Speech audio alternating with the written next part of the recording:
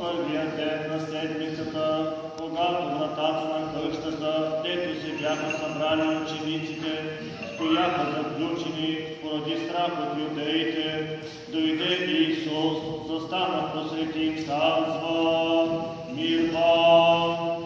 И това като рече, показа им ръцете и нозете или брата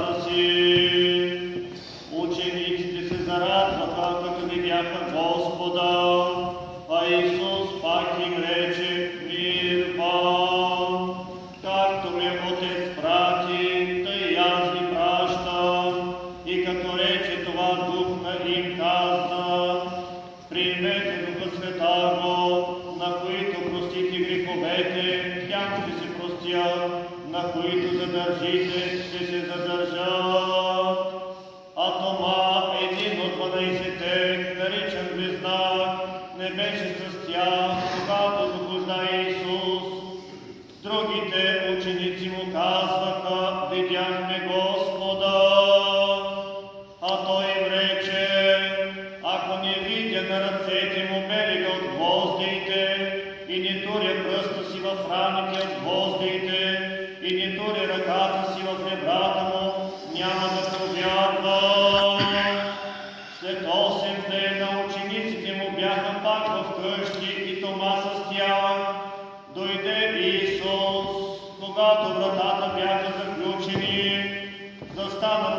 Застана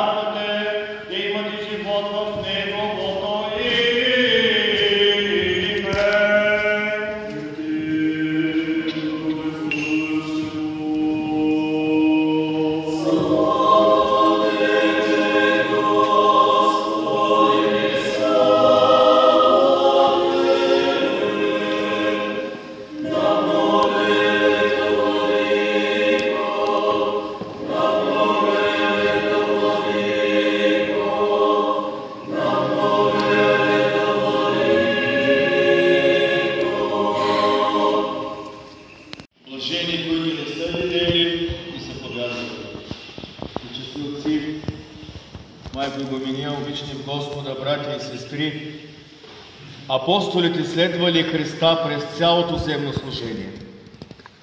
Слушали учението му, общували с Него лице в лице, станали свидетели на дивните му чудеса, убедили се в силата на животворящото му Слово, от което болни бивали изцерени, слепи проглеждали, мъртви били възкресявани. Въпреки това Господ им се явил и след своята смърт и възкресение, беседвал с тях, получавал ги, за да усили вярата им, че е Син Божий. Единствено, апостол Тома отсъствал при тези явявания и въпреки свидетелството на останалите апостоли не повярвали в, не повярвал в Възкресението, а пожелал сам да се убеди в Неговата достоверност. Осем дни по-късно Исус Христос отново посетил своите ученици и сред тях бил свети апостол Тома. Вратата на дома, в който пребивавали апостолите, е била заключена поради страх от преследване. Дошъл и Исус, застанал посред тях и ги приветствал мир вам. След това се обърнал лично към Тома и му казал, дай си пръста тук и виж ръцете ми, дай си ръката и дори в ребрата ми, и не бъди невярващ, а вярващ. Развълнуван, Тома извикал Господ мой и Бог мой.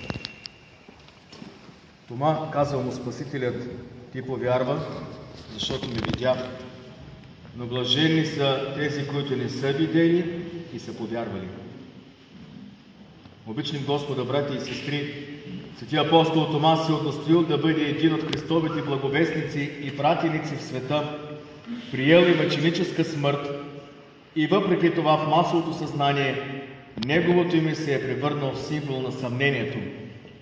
Символ на онази вяра, която вярва само в нещата, които могат да се видят с очи и да се пипнат с ръка. Всеки човек, било то религиозно вярваш или не, неизбежно вярва. Животът ни е основан по-скоро на вяра, отколкото на знание, придобито от опита, защото нещата, които не виждаме със собствените си очи и не можем да докоснем и да опознаем, са несравнимо повече от нещата, които лично ние познаваме. Вярата е енергично и горещо и пълно, не изискващо изкуствени логически доказателства, убеждение в истинността на това, което ние видимо обладаваме. Науката може да създаде доказателства за Божието битие въз основа на известни факти от природата, историята или вътрешния живот на човека. Но тя не е в състояние единствено по логически път да произнесе от човека убеждение в истинността на съществуването на Бога във всички божествени дела. Бог се показва на този, който го търси с любов и се крие от този, който го търси с студения си, лишен от любов разум. Знанието без любов ни отдалечава от Бога. Докато любовта, дори и без знание, ни води към Бога, и чрез когото стигаме до Неговата мъдрост.